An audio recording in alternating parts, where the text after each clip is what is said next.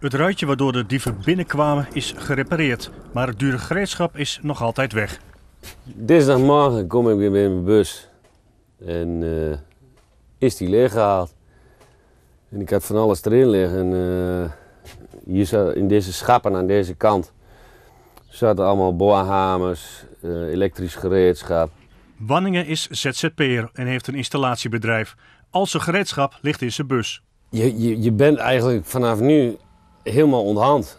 Dus je moet uh, uh, zien dat je, dat je wel uh, ja, een, een, basis weer aanschaft. En vanuit daaruit ja, proberen om weer de boel op te bouwen. De schade is zeker 18.000 euro. En het is maar de vraag of de verzekeraar betaalt. Alarm zat er niet op. Je denkt, in een woonwijk heb je die bus staan. hij staat schuin tegenover mijn huis. Um, ja, je bent al alerter dan normaal, omdat het natuurlijk je gereedschap is.